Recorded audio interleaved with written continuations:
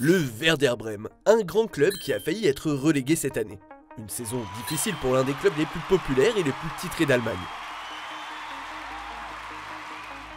D'autres grandes équipes n'ont pas eu la chance de s'en sortir in extremis et ont connu la relégation.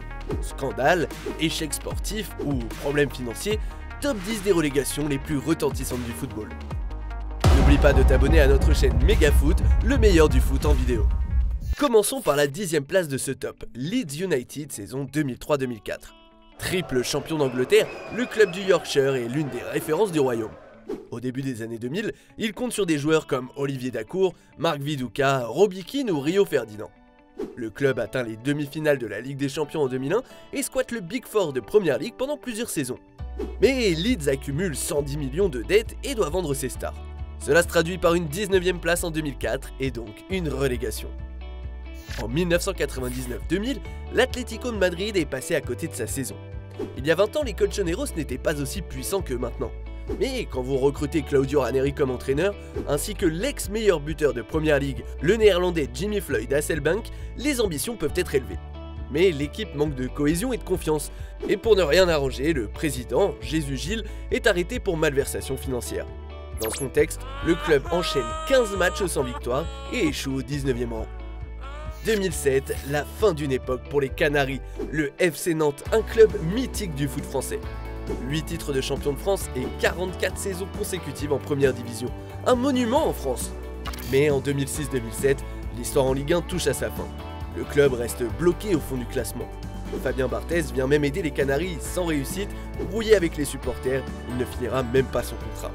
Nantes finit dernier et connaît la première descente de son histoire. Les Verts étaient loin d'être les plus forts en 1984.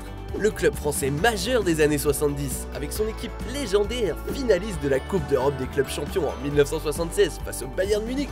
Mais en 1982, éclate l'affaire de la caisse noire. Le président Roger Rocher aurait détourné de l'argent pour les transferts. Il quitte alors la présidence et la SSE doit économiser des salaires. Ciao Michel Le niveau sportif s'effondre et en mai 1984, les Verts finissent 18e. Il quitte la D1 après un barrage perdu face au Racing Paris. En 2018, le dinosaure du football allemand a disparu de l'élite. Depuis la création de la Bundesliga en 1963, Hambourg avait toujours fait partie de la première division. Six fois champion, vainqueur de la Coupe d'Europe des clubs champions en 1983, le club est une référence outre-Rhin. Mais dans les années 2010, Hambourg flirte avec la zone rouge. L'équipe se sauve deux fois en barrage, maintenant sa durée de vie en Bundesliga ainsi que celle de l'horloge témoin du seul club jamais relégué en Allemagne. Pourtant, le 12 mai 2018, le temps s'arrête. 17ème avec 31 points, Hambourg est relégué après 54 années en Bundesliga. Tout part en fumée pour le 8ème budget du championnat. 2019 fut vraiment une année compliquée pour Cruzeiro. Le club de Belo Horizonte fait partie des géants du football brésilien. 4 titres de champion du Brésil, 2 Copa Libertadores, 6 Coupes du Brésil, un palmarès costaud. Le club est bien installé en Serie A, mais en 2019, tout vacille. Les résultats sont médiocres et le club est instable. 4 entraîneurs se succèdent sur le banc, dont Abel Braga et Rogerio Ceni. Le soir de la 38e journée, après un 9e match sans victoire de rang, Cruzeiro est relégué pour la première fois de son histoire, près d'un siècle après sa création. Après le match, c'est l'émeute dans le Mineirão, une révolte des supporters plus forte que celle de leurs joueurs sur le pré. Ah, jamais les premiers hein. Marseille est passé du toit de l'Europe à la D2 en un an. 1993, un tournant pour l'OM. Le club remporte enfin la Ligue des Champions, une première pour une équipe française. Mais un mois plus tard, les choses prennent une autre tournure. L'affaire VAOM éclate. Des joueurs de Valenciennes auraient été achetés par Bernard Tapie, le président olympien. Cela précipite la chute de l'OM, qui est exclu de la prochaine Ligue des Champions.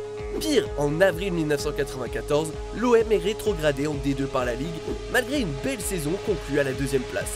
Cette descente marque la fin de l'ère Tapie débutée en 1986. La vieille dame a lourdement payé ses fautes en 2006. 2005 et 2006 devaient être les 28e et 29e titres de la Juve. Mais ces deux sacres cachent une affaire de match truqué, le Calciopoli. Plusieurs arbitres auraient été achetés pour favoriser la Juventus et d'autres clubs comme le Milan ou la Lazio. Les instances sont sans pitié avec la Juventus. Elle est reléguée en série B en 2006-2007. En plus, elle doit démarrer l'exercice avec un déficit de 9 points. Seuls condamnés à la relégation, les Bianconeri subissent un choc en pleine préparation de la Coupe du Monde en Allemagne. Mais avec Didier Deschamps sur le banc, Del Piero, Trezeguet et Buffon sur le terrain, il ne faudra qu'une année pour revoir la Juventus au sommet. Les Rangers ont vu le ciel leur tomber sur la tête en 2012. L'équipe est la plus titrée d'Écosse, 54 fois championne. Oui, 54 Les Rangers sont d'ailleurs triple tenants du titre à l'époque et visent le quadruplé face au Celtic. Mais cette saison va devenir dramatique. Le Celtic remporte le championnat devant les Rangers, mais surtout, les Rangers sont en banqueroute. 160 millions de dettes cumulées. Pour sauver le club, certains avancent le nom de Donald Trump, mais cela reste sans suite. Le 4 juillet, coup de tonnerre. Les Rangers sont relégués directement en 4 division. L'Écosse et le monde du foot sont privés d'un des deux grands clubs écossais et du Old Firm, le Derby de Glasgow. La relégation de River Plate fut un séisme en Argentine en 2011. C'est un monument du football sud-américain, 35 fois champion, vainqueur de deux Copa Libertadores à l'époque. Mais l'équipe obtient des résultats médiocres depuis son dernier titre en 2008. Et le règlement du championnat va sanctionner ces difficultés. À la fin du championnat de clôture 2011, un classement cumulé des trois dernières saisons est organisé. Il permet de connaître les potentiels relégués. River Plate est 17ème et donc barragiste. Le club joue sa peau face à Belgrano, équipe de D2, mais Battu à l'aller comme au retour, River Plate est relégué pour la première fois de son histoire. Ça tourne même à l'émeute à Buenos Aires. Et comme le football se joue à 11, nous ajoutons en bonus le RC Lens saison 2007-2008. En août 2007, les Lensois, 5ème budget, rêvent de Ligue des Champions. Quoi de mieux pour y arriver que Giroud comme entraîneur, c'est malheureusement un flop. 4 matchs, aucun succès et une démission express. Ensuite, Jean-Pierre Papin arrive mais les résultats sont toujours poussifs. Le druide Daniel Leclerc, champion avec Lens en 1998, vient même aider JPP. En vain. Lens lutte pour sa survie avec un autre grand club, le PSG. Dernière journée, un doublé d'Amaradiané sauve le club parisien et condamne Lens à la descente en L2. Alors, t'en penses quoi de ce top? Tu es d'accord avec le classement? Quelles autres équipes auraient pu se glisser dans ce top? N'hésite pas à nous faire part de tes commentaires. Merci d'avoir regardé cette vidéo. Si tu as aimé, n'oublie pas de parler de nous autour de toi. On se retrouve très vite pour de nouvelles vidéos. Portez-vous bien